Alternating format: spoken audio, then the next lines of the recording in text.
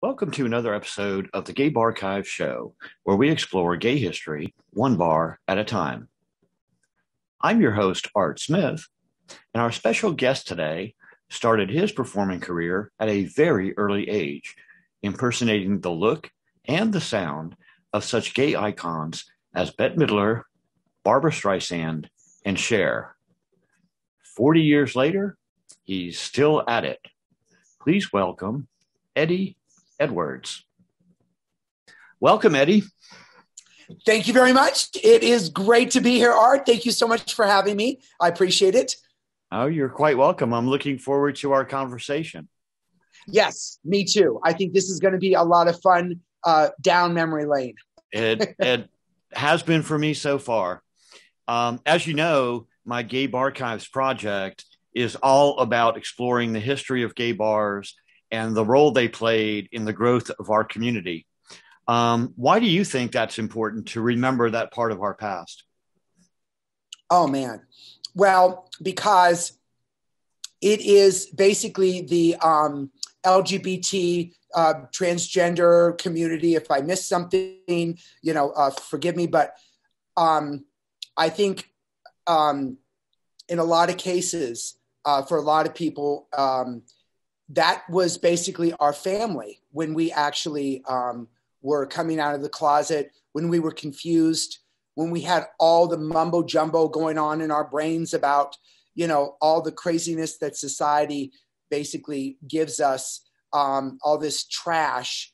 Um, the uh, the gay bars were uh, very important to me and so many other people, um, and uh, it's it's it's kind of changed a lot over the years, but yet the foundation is still there in the fact where it's just a great community,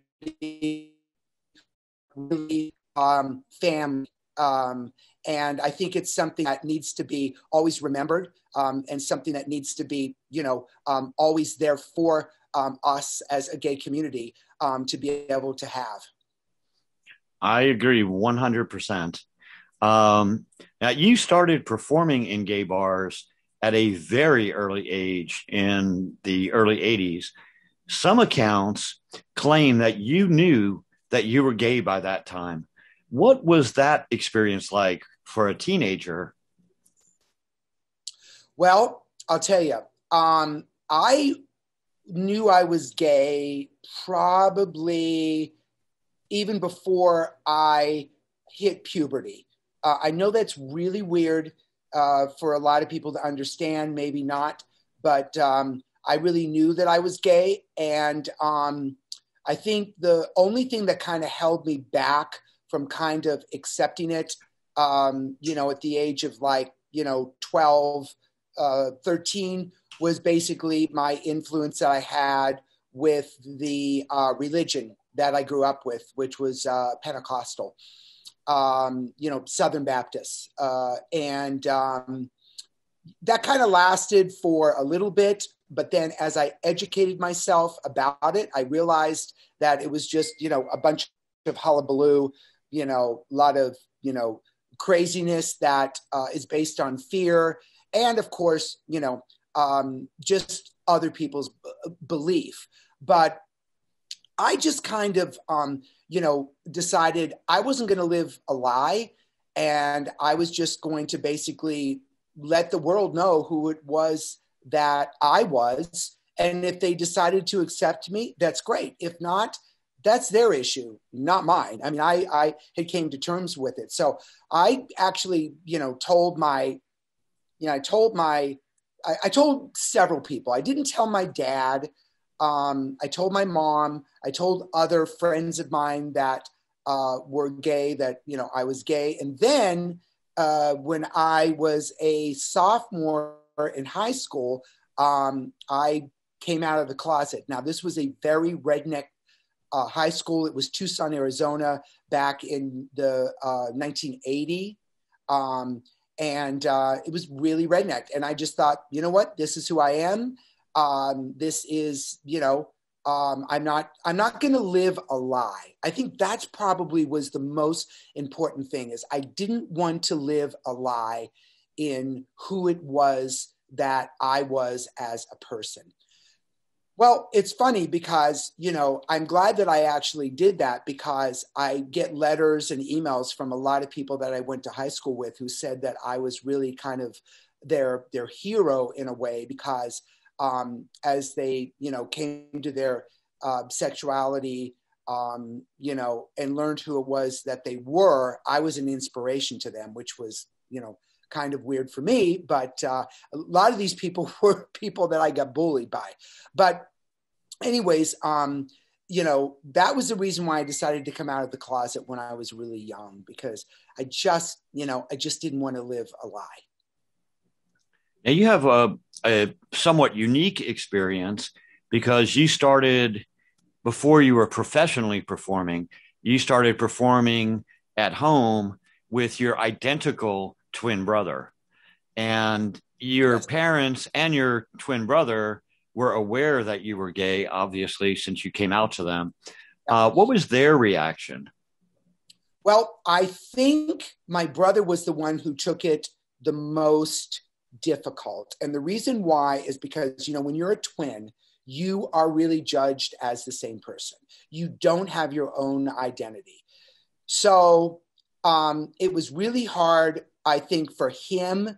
Um, but, you know, in another way, um, as time went on, it was an inspiration for um, him because later on, you know, during the, um, you know, his life, he did come, come to terms that he was gay, but he just didn't want to live the gay lifestyle which was absolutely fine. I mean, again, I have no judgment about that. You know, if someone want, doesn't want to live the uh, the life of being gay, that is their decision. So um, he that's the way he's always been. Um, I would say from the age of 20 uh, on, he decided that he wanted to become asexual just because of our careers. Um, and he just did not have the time to be able to focus on that part of his life. So he's kind of just put everything into business. And I respect that. I appreciate that. And in all honesty, it was good for me because I didn't want to run the business part of uh, show business. But um, a lot of his friends that were gay looked up to me. Um, and um, I think that um, you know it it was it, it was tough but we when we when we played as kids i was always the woman and he was always the man so i think that you know in a sense kind of deep down you know he kind of knew that this was the journey that i was going to take in life and i will say that when we started working together, it, it was really a major issue for a very long time, just because my brother is uh, a devout born again Christian now. Um, but yet, I say that in a way where he's very open uh, to gay people and all that stuff. He doesn't have a judgment towards any of that those people now. He did it earlier in his life, uh, 20 years ago.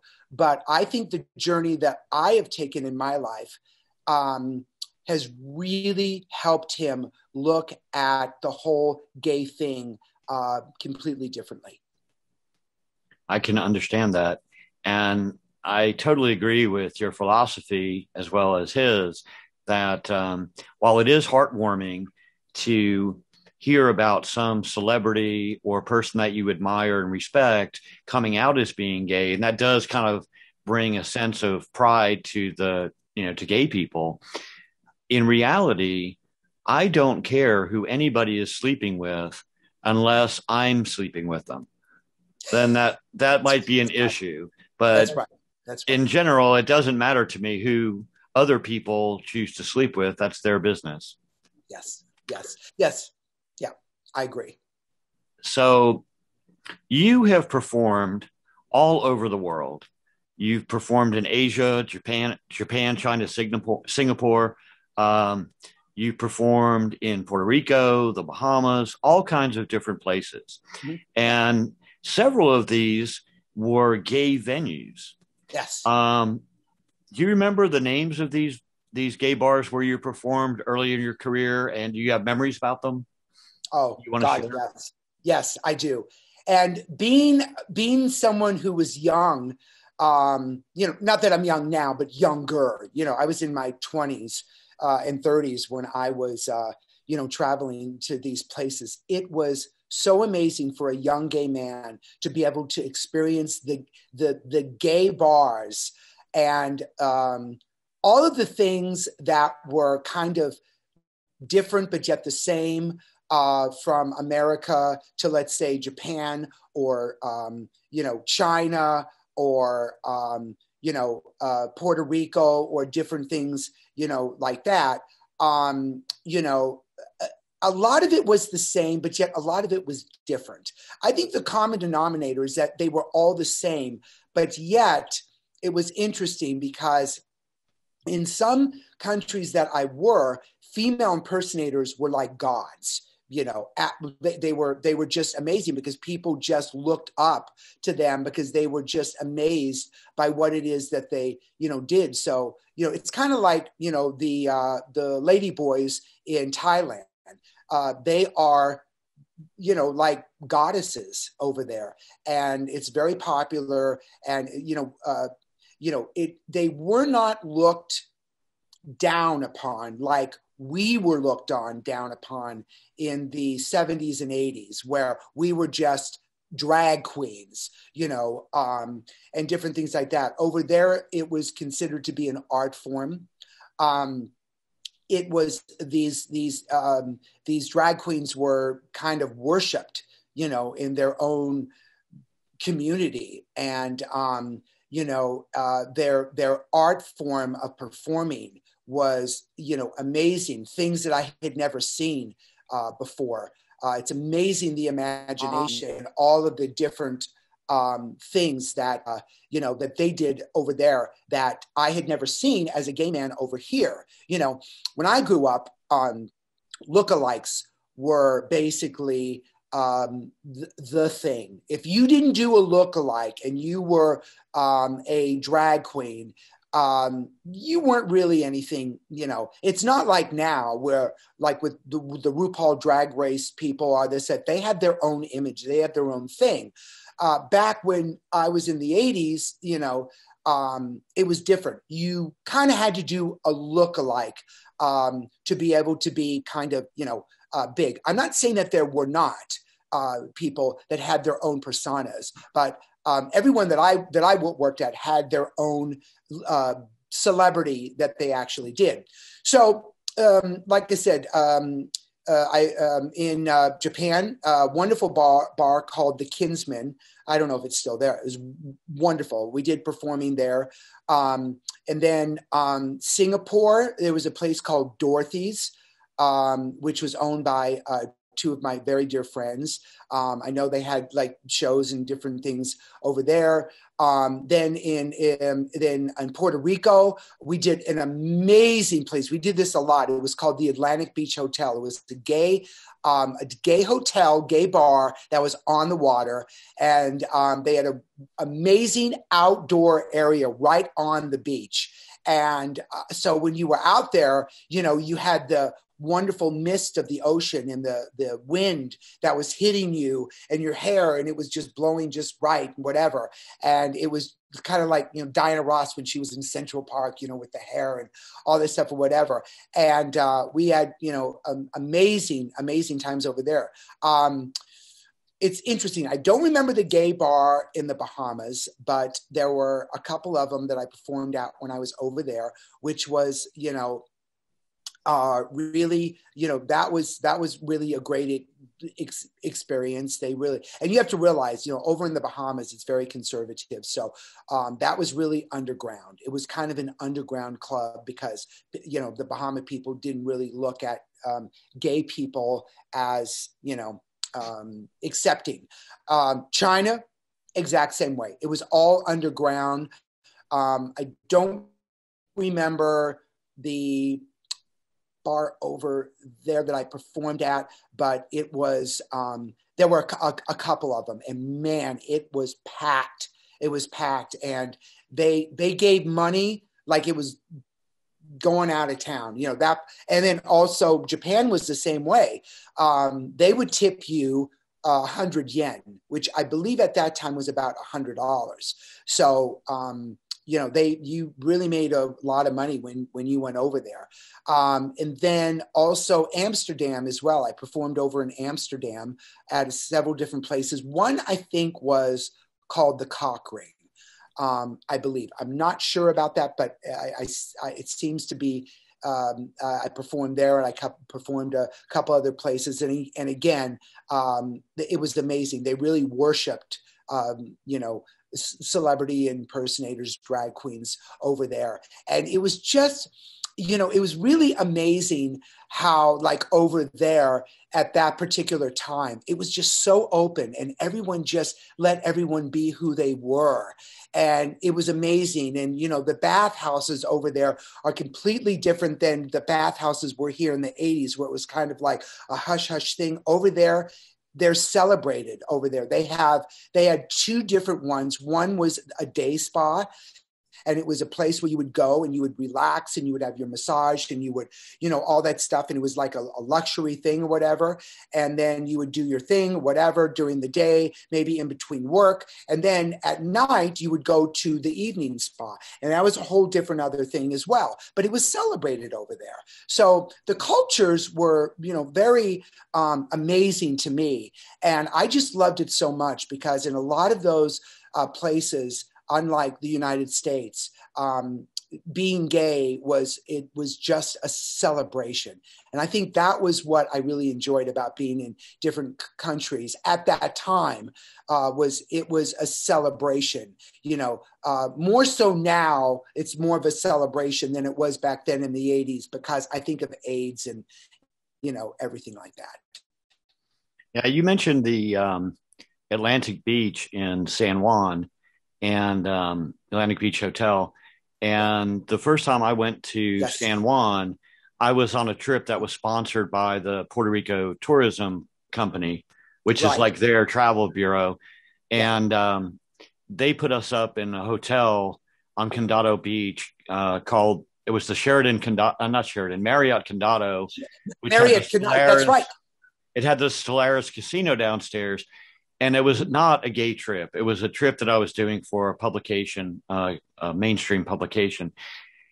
And I was a little nervous yeah. because I knew that Puerto Rico is a little bit of a, um, you know, macho image of males, and that there was not likely to be as a much openness for, um, you know, the gay community. And I was hoping to at least be able to visit a gay bar while I was there and kind of experience it. And the irony of it was that one night I decided to go from the Marriott and walk down the beach. So I walked between, you know, the side of the Marriott down the sand toward the beach. And there were these big sea turtles there roped off because it was, you know, May and they were in breeding season. And I walked past there and turned uh, to the left to walk along the beach at night.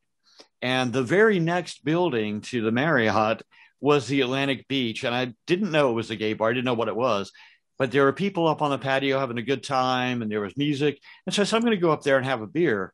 And so, like you were saying, it was it was kind of unusual that it was in such a you know open public tourist area yeah. right next to a major hotel. Mm-hmm. Uh, unfortunately, the um, the Atlantic Beach bar is uh, permanently closed now, so it's no longer there. Yeah. But um, so, you know, obviously at a young age, you were performing in gay bars.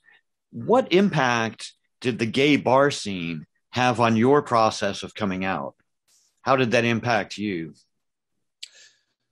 Well, um, you know, I think basically it was the fact that um, I just saw so many people that were just happy and they were themselves. And it was um, their energy and that they just didn't care what the world you know thought about them when they were in that particular you know atmosphere and you know i just um i you know i mean i have always always just thought to myself you know life is just way too short to be able to hide who it is that you really are. You know, I'm not religious, but I'm a very spiritual person. And I believe that in a lot of cases, God put gay people on there on the earth to be able to teach the world about diversity, you know, and being able to, you know, um, you know, make people understand that everybody is different in every way, rather it's sexuality, the color of the skin, you know, type of person that they are, personalities, you know, on and on and on. It's all about diversity. And as the world gets older and older and older, um, I do believe that diversity is going to basically kind of, um, people are just going to really um, just embrace it and enjoy it. And in a lot of cases maybe you know celebrate it. And i think that's what's happening now more so than a lot of different places. Yeah i mean we we are seeing some things with race and all that stuff but i really think that things you know in a lot of cases have to get worse before they get better you know.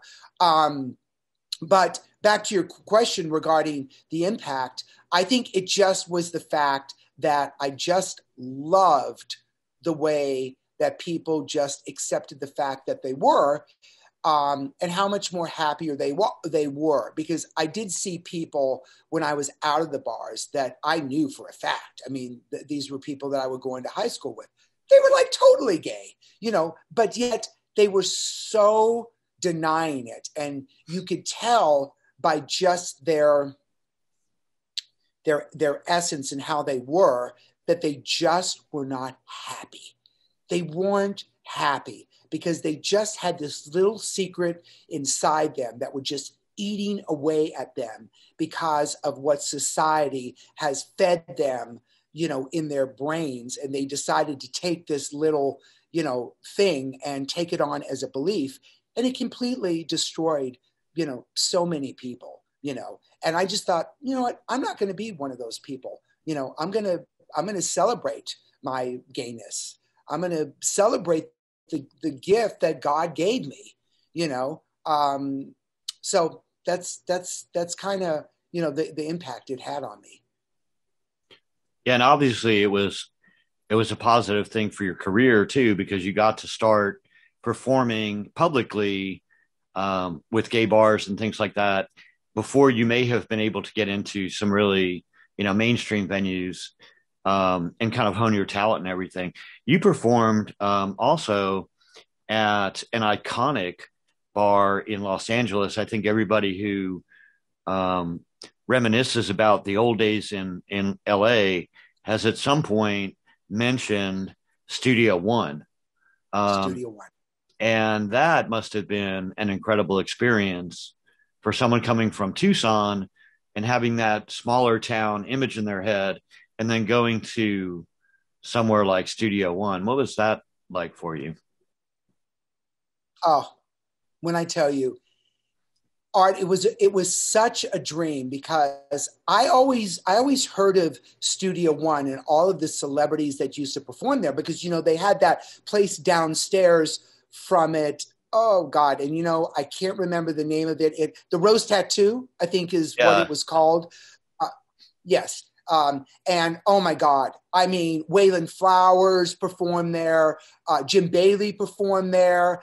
Um, if I'm not mistaken, a lot of great celebrities performed there. And I just, I dreamt as a child, you know, when I was a kid, I thought, oh my God, I mean, I could see myself, you know, being able to uh, perform, you know, at these uh, places. Now, to kind of back up a little bit, um, so I graduated from high school when I was 17 years old. I graduated when I was a junior just because I wanted to be able to finish my education in high school. I wanted to get my diploma. And then I had things I had to do in the world. I wanted to become a star, you know. Um, so I basically graduated when I was a junior. I left Tucson. I actually left Tucson, um, you know, a star because you know I was very well known there as a you know female in person really a celebrity impersonator. I wasn't a drag queen, um, although I, it's funny. I it was my only time that I did have a drag name.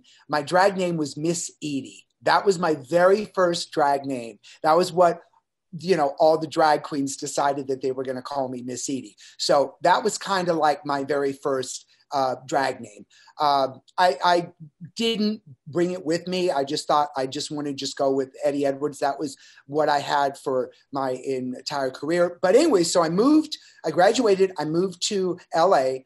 Um, my my uncle was the announcer on the Sonny and Cher show.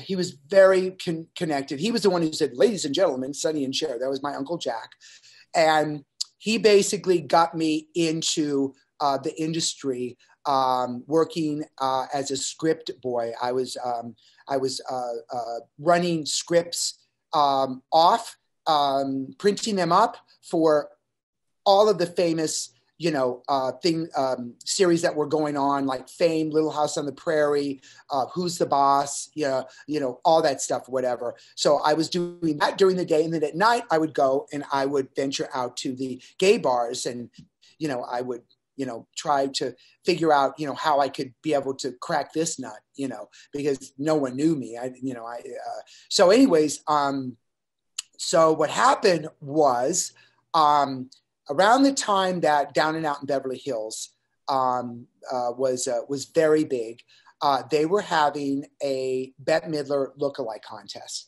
And Scott Forbes, the owner, put this whole thing together. Scott Forbes was amazing, amazing guy. Um, and um, he basically um, had known that I did that. And he said, We're having a Bette Midler lookalike contest. And um, we, uh, I would like for you to be able to enter it because I think you have a really good chance of winning. Um, it was hosted by the very famous uh, female impersonator, Kenny Sacha. Now, Kenny was the Bette Midler impersonator of that particular era. There was no one who looked more like Bette Midler than he did at that particular time. Plus, he also traveled with Cher on the road doing Bette Midler. There's a lot of videos of him out there singing with um, Cher as Bette Midler when uh, they were in Las Vegas. Anyway, so Kenny hosted the show. Long story short, I won the grand prize. I think it was a thousand dollars. I think. Um, at that time. And that was kind of when uh, people started to, you know, talk about me and all this stuff. Said that there's this amazing Bette Midler, all that stuff. And then that kind of is what got me into the actual um, circuit uh, in California at that time, which was like um, uh, um, it was Rage uh, was the, the one of the big ones. Um, the Four Star Saloon, I did hundreds of shows at the Four Star Saloon with Erica Townsend, which was the um, the main diva uh, at that time, um, and uh, she hosted the show. So I worked there, you know, a lot. And then at that particular time, they had every every like I think every every, other Sunday they would have La Cage night. That was when the famous La Cage girls from the the the main La Cage uh, nightclub the one that cre- created it all here in the United States, was just literally four minutes down the road. Um, and that was where all of the celebrities would go to see famous drag queens. Now I thought to myself, I'll never work there ever. But I just would always, I'd go there, I'd hang out, you know, I'd, you know, mingle with the cast, all that stuff, whatever. Well, anyways, I got really good in with the cast of that per, uh, particular um, the show, the the the the main show. That was way before the Broadway musical um, and all that. Um, so um, I'm I'm going on a tangent. I don't want to get ahead of myself, but uh, long long long story short, um, I went and I auditioned for La Cage, and after so get this, I was hired as Bette Midler the very first day. That's how popular my bet Bette Midler was. I was hired immediately uh, for for that. Um, but the guy, the owner, Lou, Lou who was Mr. La Cage aux Folles, he was the one that actually cre- created La Cage. He said, you know, he said, if I'm going to hire you on a regular basis, he says, you can't just do one character. You've got to do two characters. Everybody had to do at least two, two characters. So I said, well, I said, I do Barbra Streisand. Um, he says, well, how good is it? I said, well, I'll audition for it for you. Um, so I auditioned it. He said, This is the most pathetic thing I've ever seen in my life. He says, um, Work on it and come back. I worked on it and worked on it and worked on it. I even went as far as hiring professional makeup artists to kind of help me make up and whatever. Long story short, after 16, 16 auditions, I finally got hired as Barbra Streisand and Bette Midler for La Cage and then you know the, the rest is history. It's amazing. So so far most of what we've talked about of your coming out experience and your your performing experience in the early years has been pretty positive and uplifting. Mm-hmm. um, and i don't want to leave our viewers or listeners with the wrong impression um, you were bullied and shunned for being gay at some point as well, correct? Oh, God, yes. So much. I mean, in high school, because Tucson, Arizona back then was basically like the South, you know.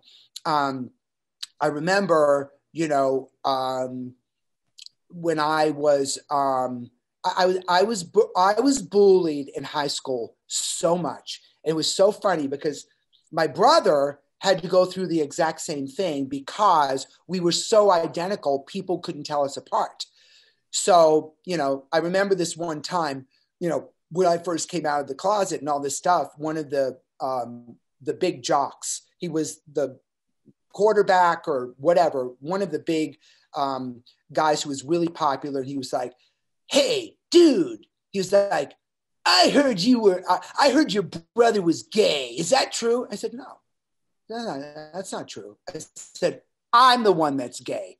He goes, fucking faggot. And he just went and just wailed on me, you know. Um, and, um, you know, and so, you know, I, um, you know, I, I put up with that, you know, but, you know, I just figured, you know, if I was, if this was what I had to go through to accept who it was that, um, that I was, so be it. I mean, there was nothing I could do about it.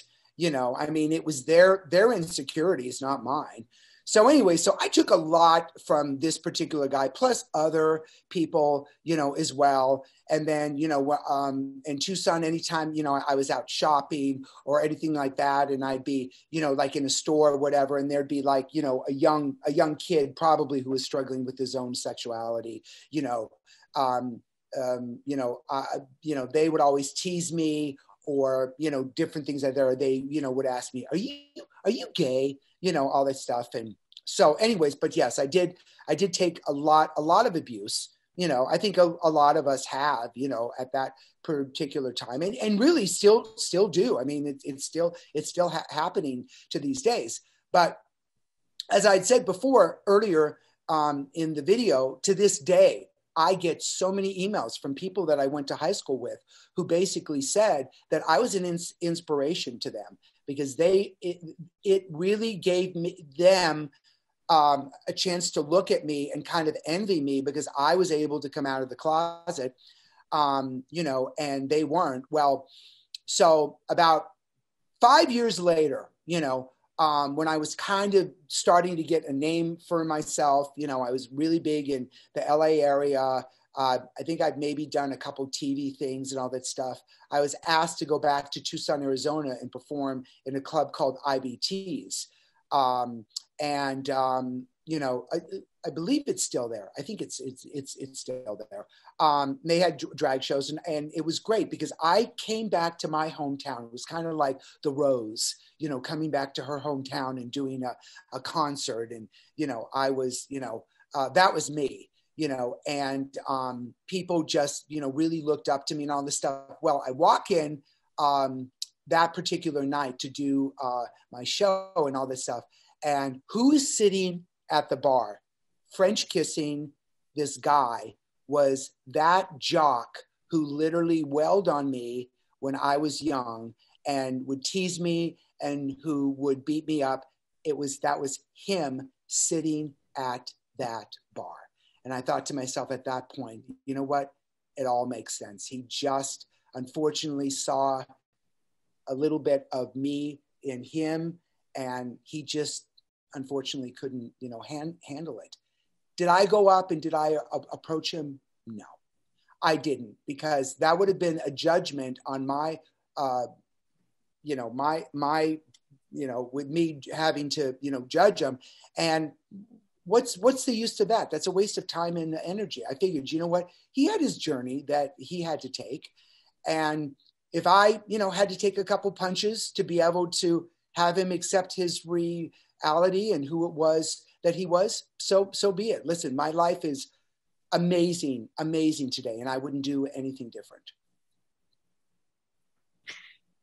Now, I've noticed that during our conversation, um, the name of Bette Midler has come up several times in several different contexts, and she is apparently one of the primary characters that you have been impersonating for decades. Um, it's widely known that Bette Midler got her start in some uh, gay, excuse me, gay uh, bathhouses and seedy dive bars. Yes. What was the response to your impersonation of her and your act in general in those same kind of places? Well, it's funny because once I got the name of doing Bette Midler, and there wasn't many people besides Kenny Sacha who actually was doing that, you know, the same time that, you know, I was.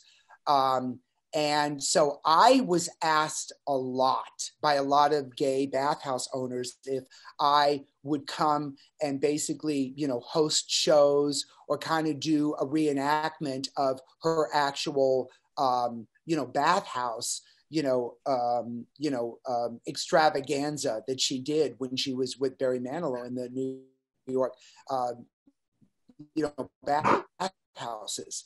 And so, um, I really, you know, made some really good money doing that. And it was amazing for me because, you know, Bette Midler always talked about, you know, uh, having all the boys in towels, you know, surrounded by her around the stage, all that stuff, and you know, singing and and all that stuff and everything. And I, I of course, you know, did a lot of her older hits.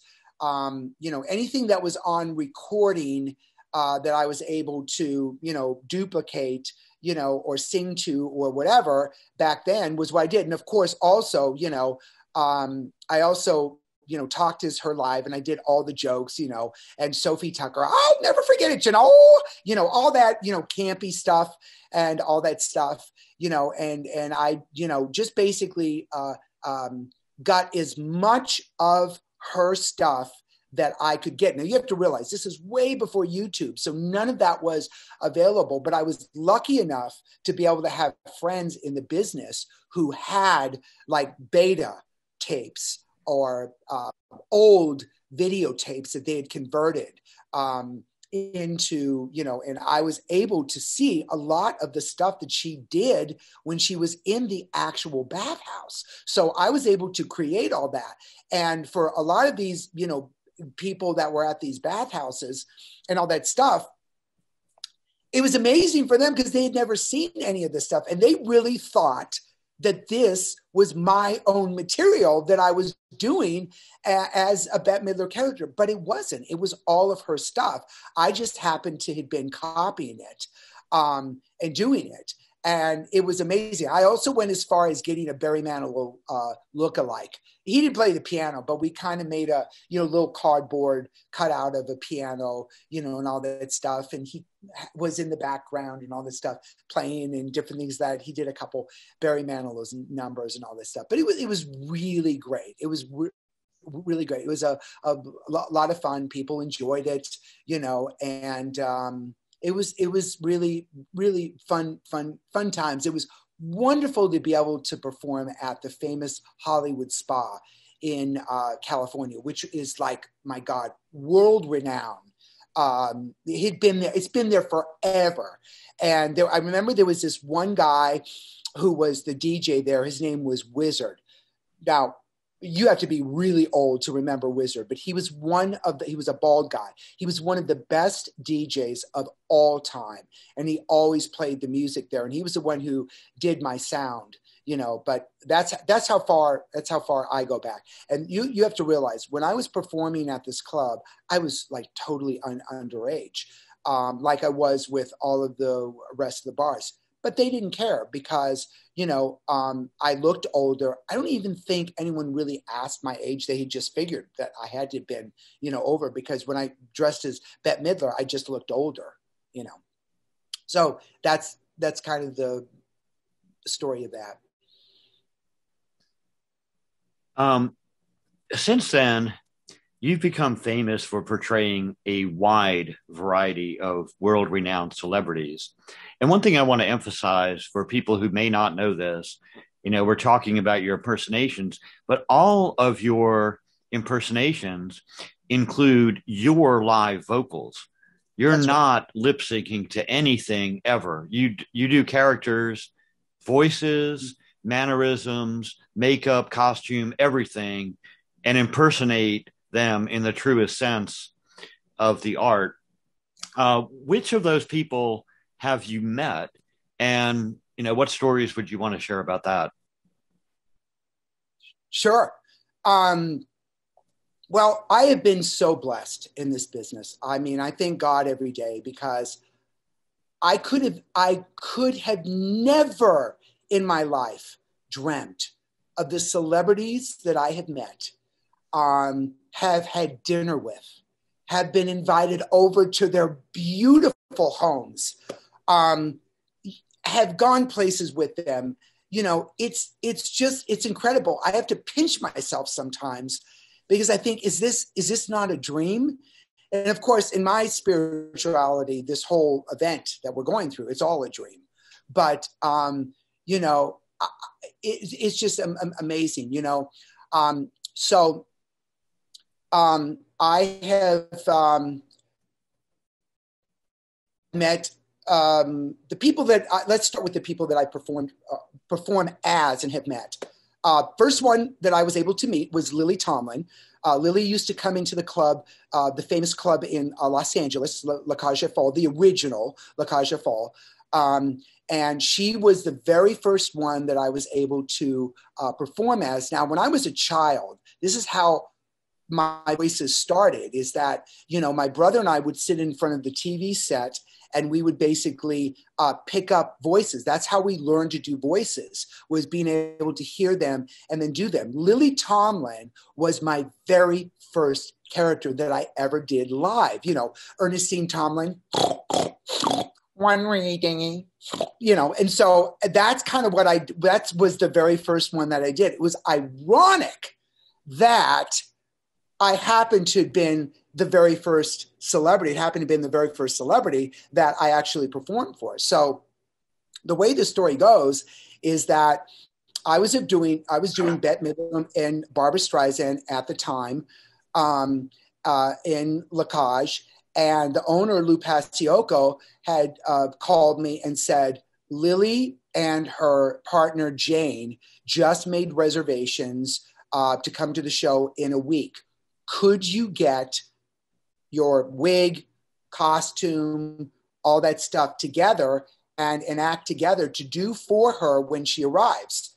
And I was like, absolutely. Now, honestly, I never did Lily before, except for, you know, when I was a child, all this stuff.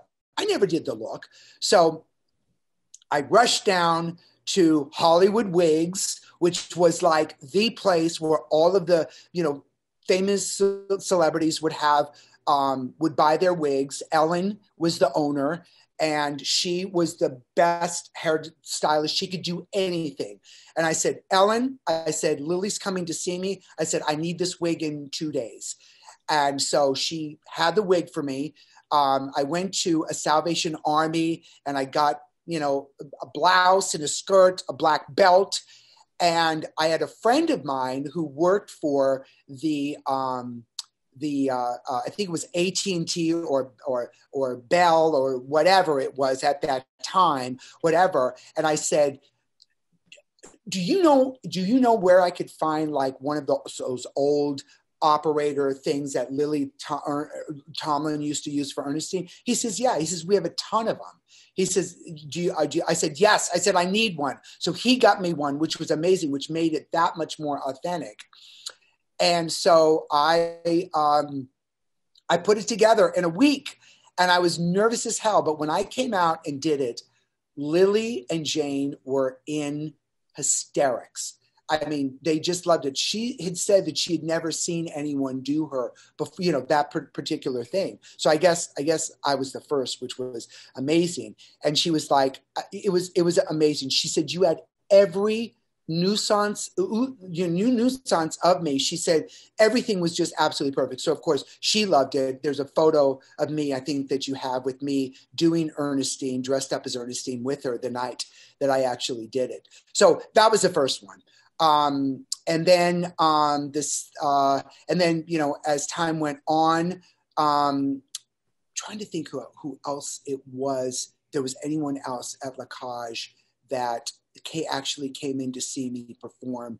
Um, I can't I can't remember offhand. There was so we got so many of the big celebrities in La Cage that would come see us: Lucille Ball, Frank Sinatra, Johnny Carson um, you know, all kinds of different ones. So, I mean, I was performing for all of these amazing celebrities Donald O'Connor, Ginger Rogers, uh, um, uh, Martha Raye. I mean, you know, all the great ones. If they was were an old star or even new star, they were always coming into to La Cage to see themselves impersonated.